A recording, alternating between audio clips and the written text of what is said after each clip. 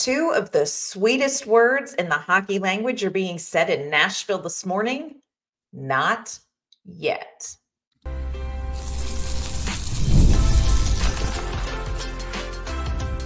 Your Locked On Predators, your daily podcast on the Nashville Predators, part of the Locked On Podcast Network.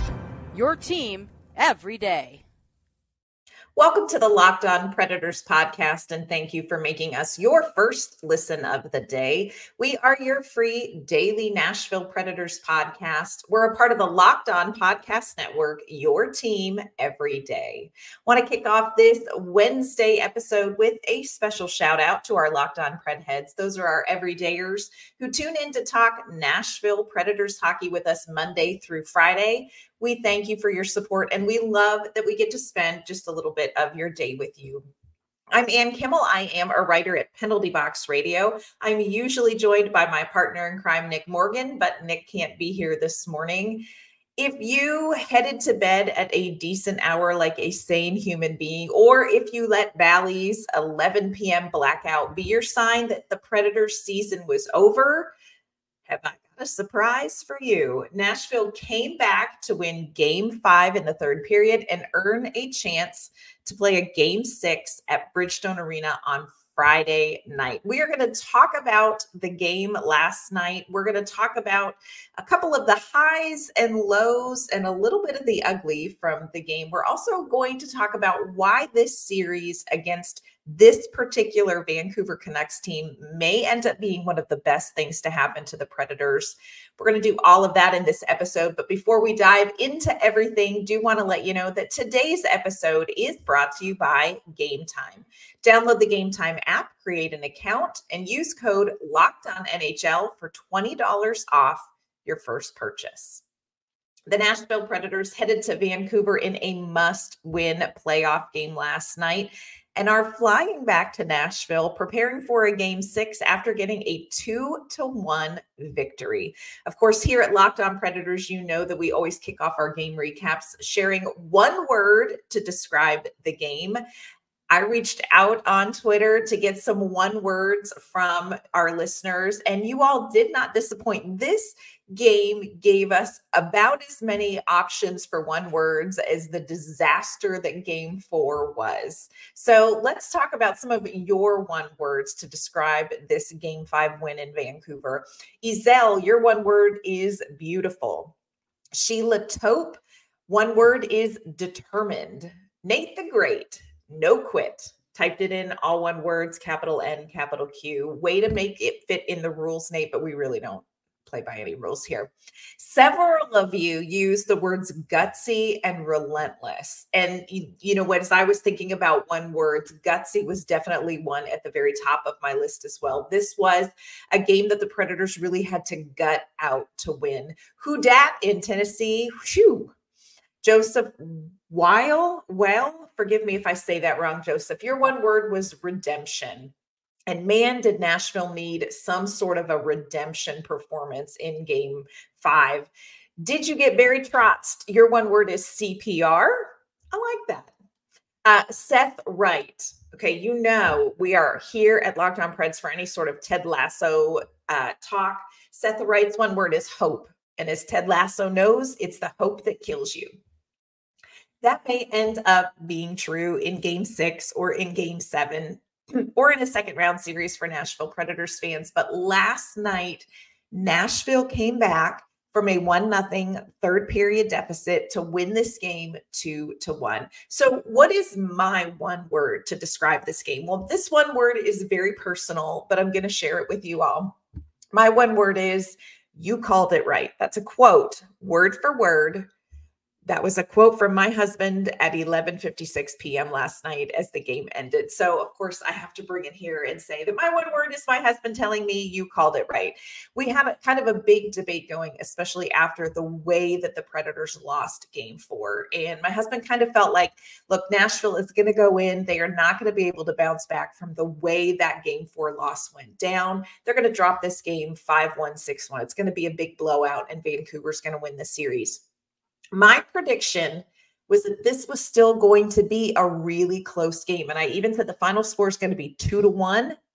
And I think Nashville could pull it out, but I also wouldn't be surprised if Vancouver did. But what I really believed was that there wasn't going to be a blowout in game five after how Nashville ended and lost game four.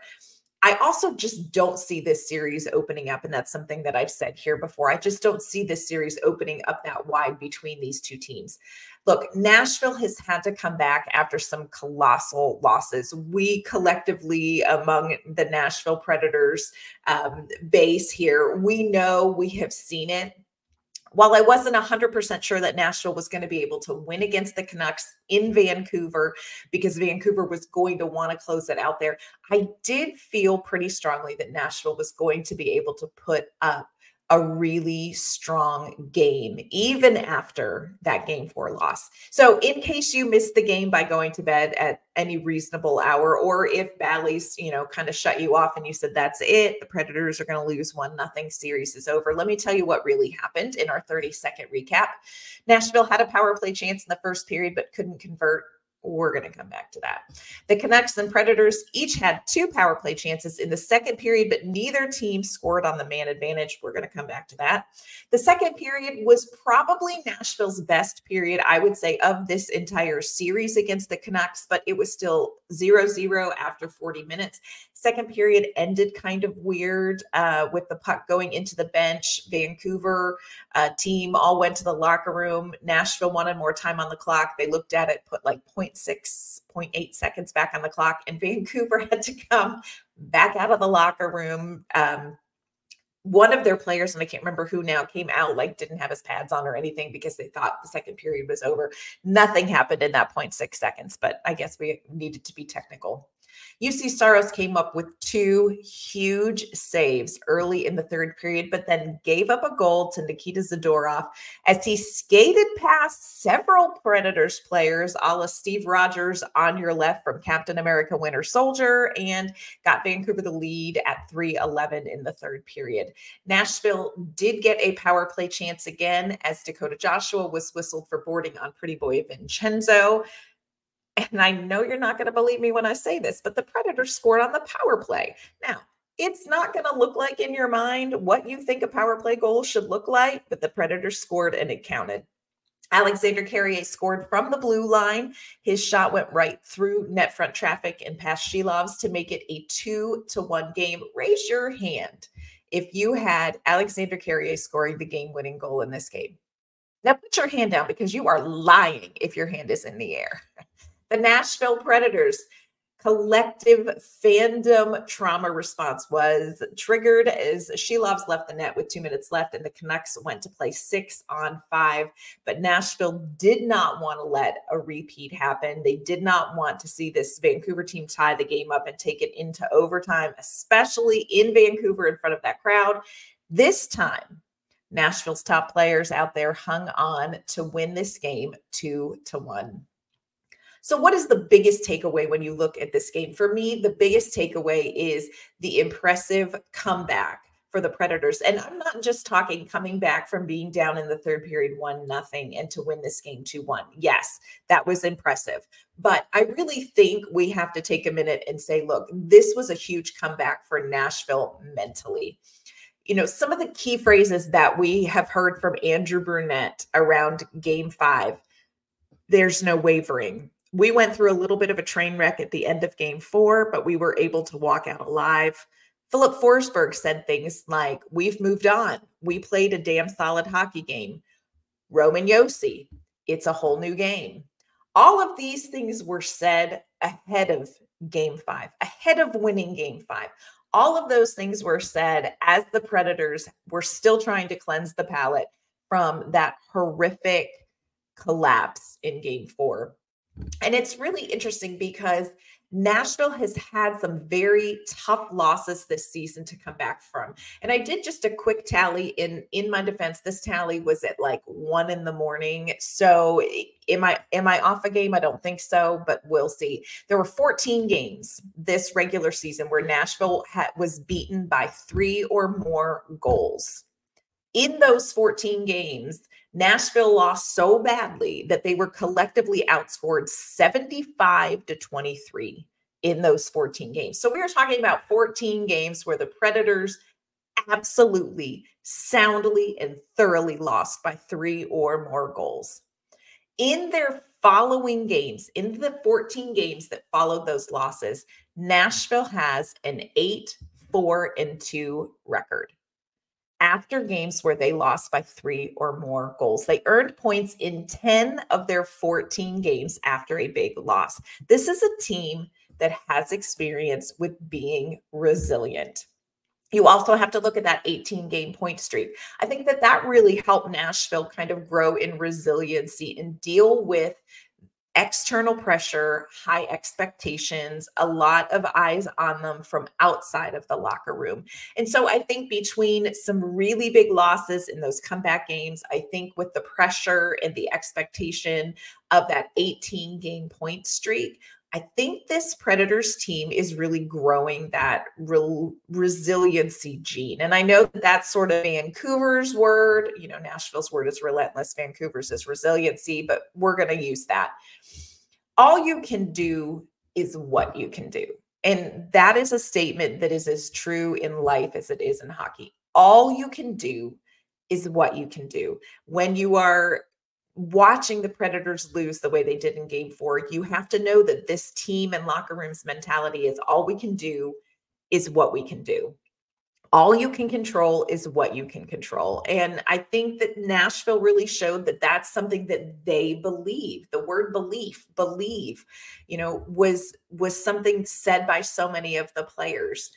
Um, Andrew Brunette uh, we talked to him after the game, after the game five win, just to sort of get his perspective perspective of you know what was his overview of how the ebbs and flows of this game were. Because let's be clear, this game five win wasn't necessarily Nashville's prettiest win it was not an easy win. Of course, it wasn't an easy win. It was in Vancouver. It was a team that wanted to close out the series at home in front of an excited crowd, a very talented Vancouver team. It was not an easy win. So, this is how Andrew Brunette kind of summarized what he saw in the ebb and flow of the game last night. You know, I think coming in, I knew Vancouver, they're, they're going to play their best game. Um, and you know, I thought they, they played really well. It was the best I, I think they played besides the third period in, in, in game um, two, where they kind of went wave after wave a little bit, kind of hemmed us in. Didn't think we were particularly sharp, but I think as a group we we stuck together. Um, we weathered it, and then I thought we got to our game in the second period, um, and and that's kind of us in, in, a way. A little bit of that relentless on top of you. Um, had the puck a lot. I felt missed some chances, and then the third period I thought was could go either way. Juice made some unbelievable saves, um, and you know we we got a bounce, and that's been kind of the series so far. Coming up, we're going to take a closer look at some of the game five stats that really lay out kind of the ebb and flow of the game that Andrew Brunette talks about. Plus, I know we don't want to, but we got to talk about the power play. We're going to do that in just a minute. But first, I want to let you know today's episode is brought to you by eBay Motors. Passion, drive, and patience. That's the formula for winning championships. It's also what keeps your ride or die alive eBay Motors has everything you need to maintain your vehicle and level it up to peak performance. Superchargers, roof racks, exhaust kits, LED headlights, and more. Whether you are into speed, power, or style, eBay Motors has you covered. With over 122 million parts for your number one ride or die, you'll always find exactly what you're looking for. And with eBay Guaranteed Fit, your part is guaranteed to fit your ride every time or your money back. Because with eBay Motors, you're burning rubber, not cash. With all the parts you need at the prices you want, it's easy to make your car the MVP and bring home huge wins. Keep your ride or die alive at ebaymotors.com. Eligible items only, exclusions apply. eBay guaranteed fit only available to U.S. customers. This episode is also brought to you by our friends at Game Time. Look, if the hockey playoffs have you pulling your hair out, maybe you want a sports palate cleanse. If you are looking to check out some NBA action, you need to check out Game Time. Game Time is an authorized ticket marketplace of the NBA, which makes getting playoff tickets even faster and easier. Prices on the Game Time app actually go down the closer it gets to tip off. With killer last minute deals, all in prices, views from your seat, and their lowest price guarantee, Game Time takes the guesswork out of buying NBA tickets. Game Time's all in pricing shows you the total up front with no surprise fees at checkout. And you can get a panoramic view from your seat in the app before you buy. So take the guesswork out of buying NBA tickets with Game Time. Download the Game Time app, create an account, and use code LOCKED on NHL for $20 off your first purchase. Terms apply. Again, create an account and redeem code LOCKED on NHL for $20 off. Download Game Time today. Last minute tickets, lowest price guaranteed. So, Nashville Predators earn themselves an opportunity at a game six here at Bridgestone Arena. On tomorrow's show, we are going to talk about what needs to happen with the Predators at home to extend the series to game seven. There's a lot of adjustments that Nashville could make to make this a little bit easier than the game five win. In game five, do want to talk about a couple of lineup decisions that were made very close to puck drop. Luke Schenn was pulled out of warmups. Tyson Barrie in the lineup. Now that's something that we have not seen since March 28th was his last game he played against Arizona. Did have a power play point in that game, two shots. I thought Tyson Barrie came in and looked really good. I don't feel like there was any rust on his skates. I thought it was a very interesting choice. Of course, Dante Fabbro already in the lineup uh, for the blue line because of the injury to Spencer Stastney that I have not forgotten about. Um, but Tyson Barrie came in. And again, you we know the story here in Nashville of Tyson Barrie. Only played 41 games in the regular season, was a healthy scratch most of that time that he was off of the ice. It's just been a rough season for Tyson Barrie. But one of the things that we have consistently heard from Andrew Brunette and from Barry Trotz was that Tyson Barrie was doing everything he needed to do to help this team. He was at all of the practices, practicing 100%, in the locker room was still a really positive voice in the locker room. That's something that we've heard a lot about Tyson Barrie. Also, have heard from Ryan O'Reilly that he is maybe one of the best chirpers in the locker room. So, little interesting Tyson Barrie fact. So, Tyson Barrie in the lineup. And again, a couple of adjustments. He ended up playing with Ryan McDonagh, which I think made for a really interesting pairing. I, I kind of liked that. I have really liked McDonagh with Josi through this series but Josi and Fabbro have played very well together. And again, I thought McDonagh with Tyson Barrie was a good match as well. And of course, you're going to keep Jeremy Lauzon and Alexander Carrier together. I thought Dante Fabbro had a really good game. He only played just over 13 minutes. So that was the least of any defenseman, but he skated with Josi, had a couple of very big blocked shots and defensive plays at clutch times. Tyson Barrie came in, and I think probably part of the reason why Andrew Brunette was so comfortable bringing Tyson Barrie in, even at the last minute, even with the decision made in warmups, is because Tyson Barrie A has done the work in the practices, but also because let's face it, Nashville needed a spark on the power play. And that is one of the ace up the sleeves that Tyson Barrie has in his game. He is so good at quarterbacking on the power play. And you saw him do that with the top unit. So let's talk about the power play. This has not been a fun topic for any of us this whole season when it comes to Nashville and the power play. Really kind of gained some momentum during that 18 game point streak, but it just has not been consistently solid for the Predators. And here's the thing about Nashville's power play when it's good, it's very good, but when it's bad, it's naughty. It's terrible. What we saw last night in the first Nashville power play was just hideous.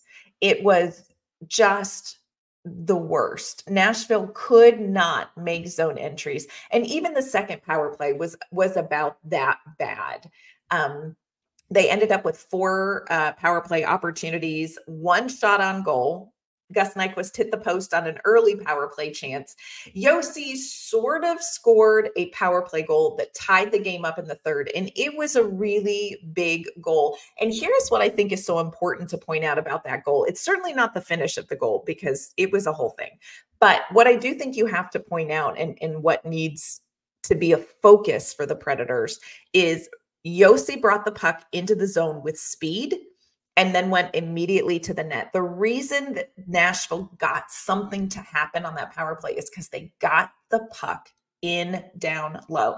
And credit to Vancouver, they have been making it very difficult for Nashville to enter the zone on the power play. And if Nashville did get in the zone and get set up through this whole series, really, Vancouver has limited Nashville to perimeter ice space. They have just not let Nashville get set up in front of the net.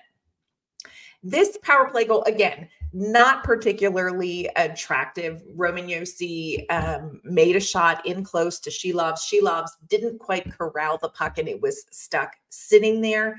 It was an ugly play. Teddy Blueger kind of dove into the goalie crease when he saw the loose puck, Gus Nyquist was coming in to crash the net. He was kind of pushed by Nikita Zadorov, who saw Nyquist coming for the loose puck. Zadorov ended up sort of pushing Blueger, who pushed Silovs past the goal line. So ultimately, it was Roman Josi's goal, but it, it was kind of a net front scrum that went Nashville's way. You know what? Still counts did look like Vancouver took a minute to really look at that goal long and hard to see if there was goaltender interference. There wasn't goaltender interference. And the goal counted tie game in the third period. I don't know that that made anybody in Nashville feel better having a tie game in the third period, but that was a really big power play goal. We did hear from Andrew Brunette, who talked about the penalty kill.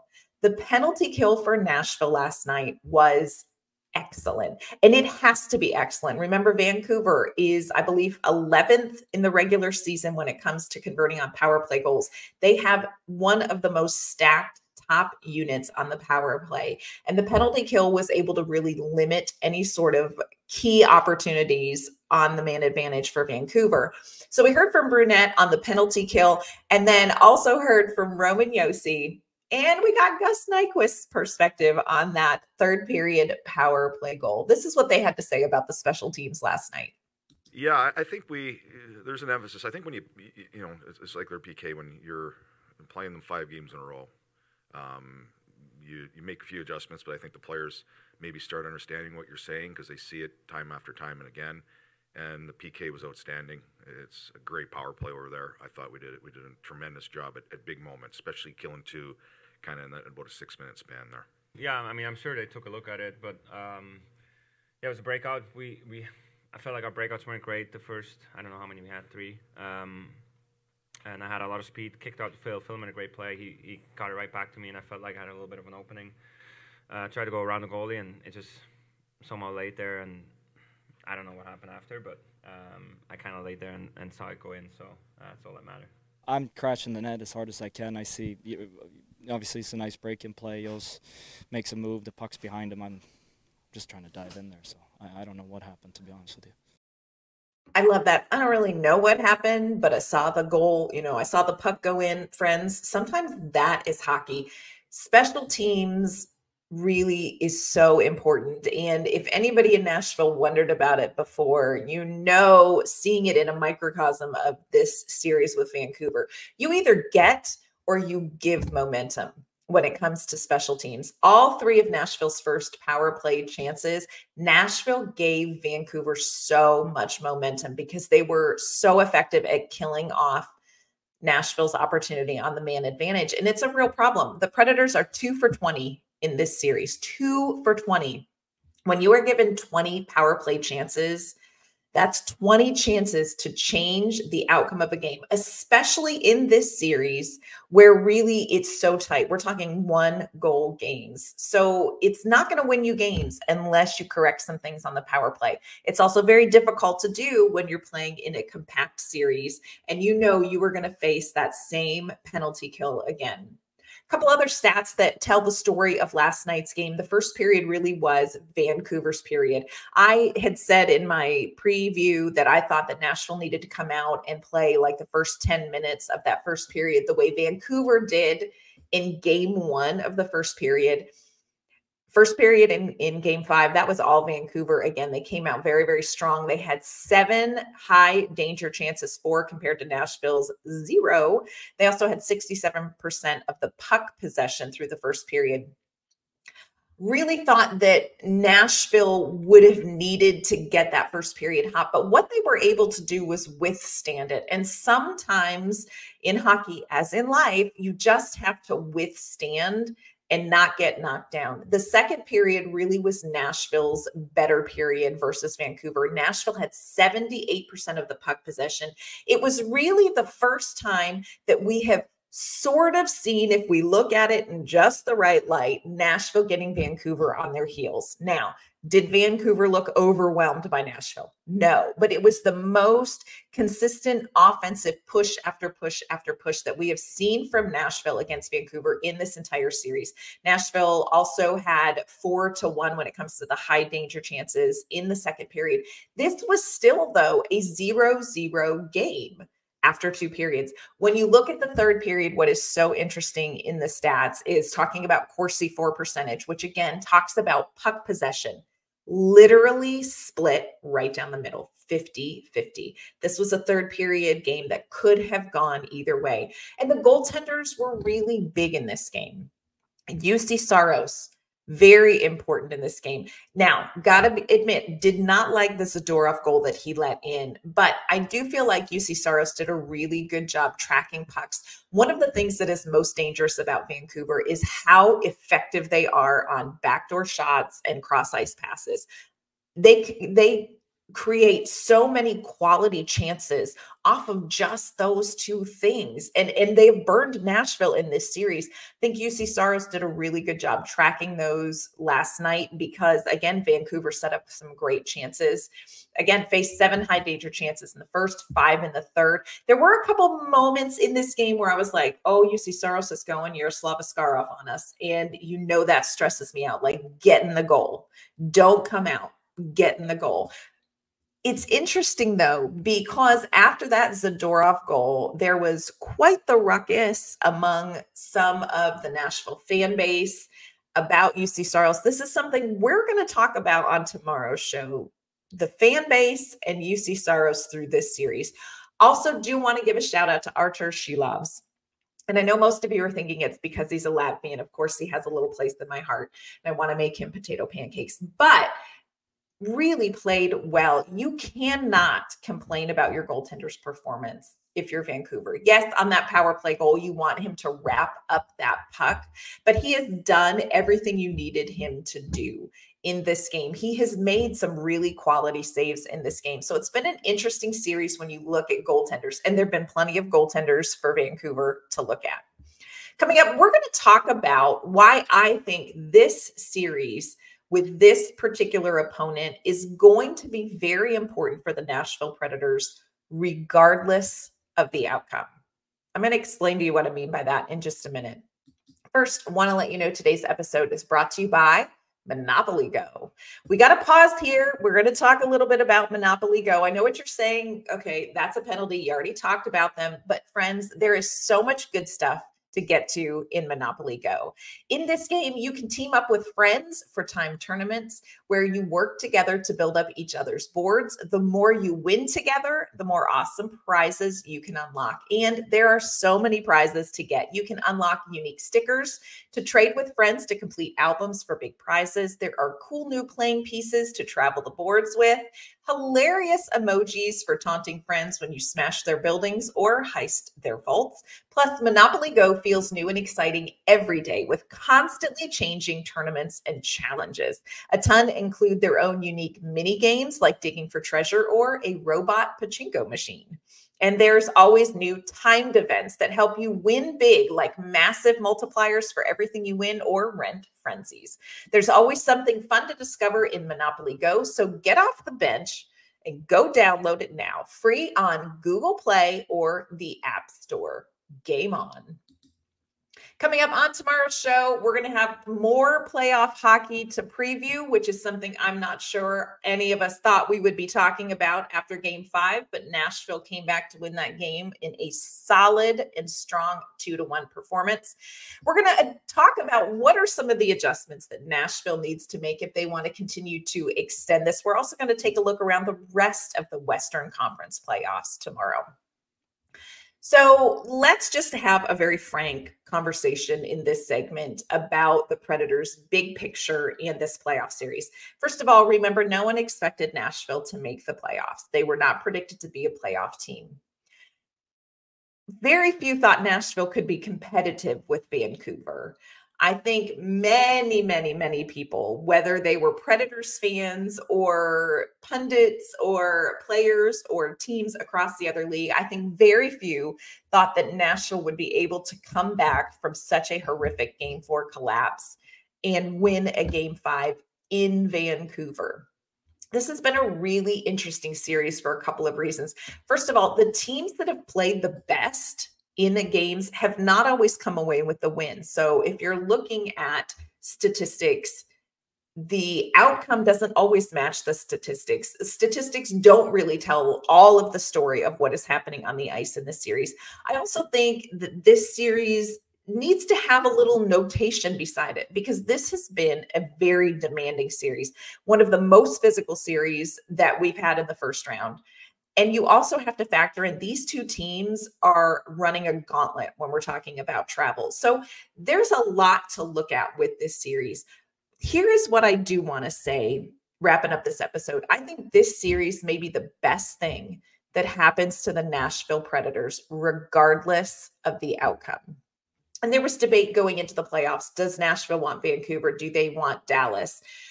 There is a lot about these two teams that are very similar. And I think playing in a playoff style hockey with the stakes in the playoff in the first round against Vancouver has really been a, a fantastic measuring stick for Predators fans, for Barry Trotz, when it comes to where are the Nashville Predators in this retooling? One thing you have to say, and I feel like people forget this because Nashville's in the playoffs. Barry Trotz never ever put this team together in last offseason and said, Here is my playoff winning team. This is my deep cup run team.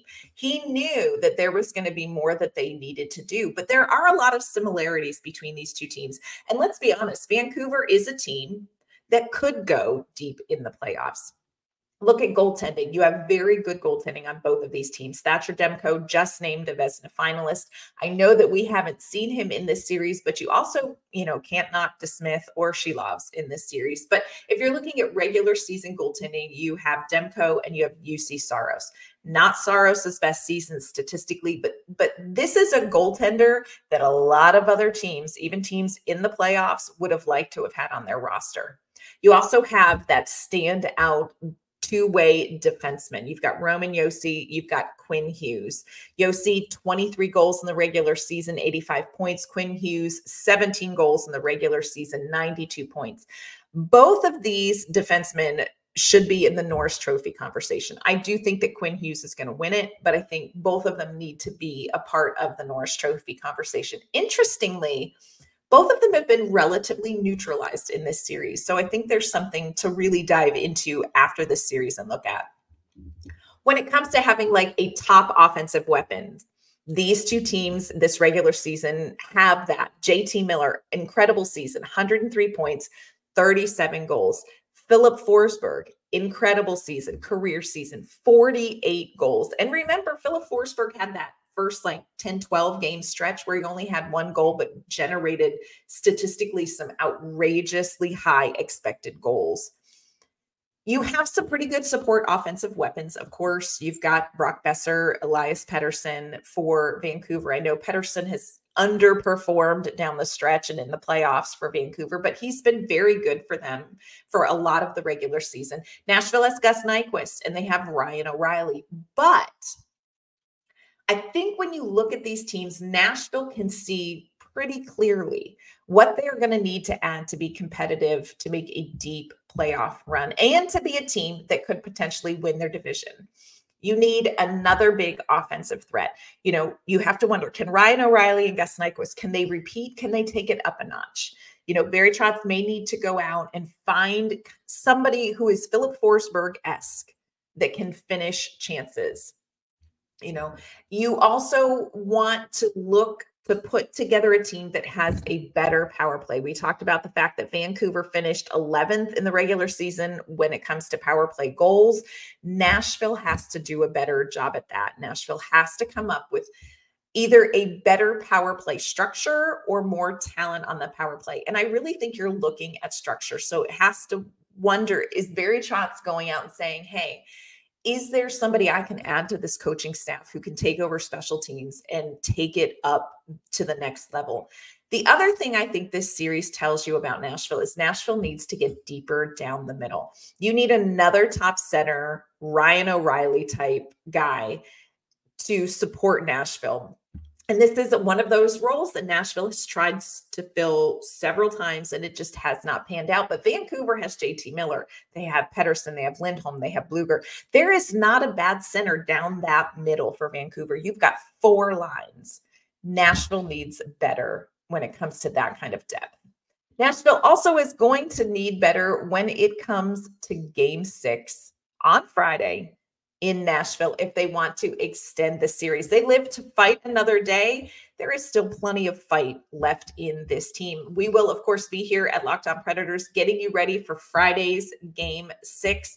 Again, coming up tomorrow, we're going to talk about goaltending and Juuse Saros. We're going to talk about what's going on around the Western Conference as well. And we're going to be here the rest of this week to get you ready for Friday's game. That's going to do it for today's episode. Thank you again for making us your first listen of the day. We will be back tomorrow with some more Nashville Predators talk.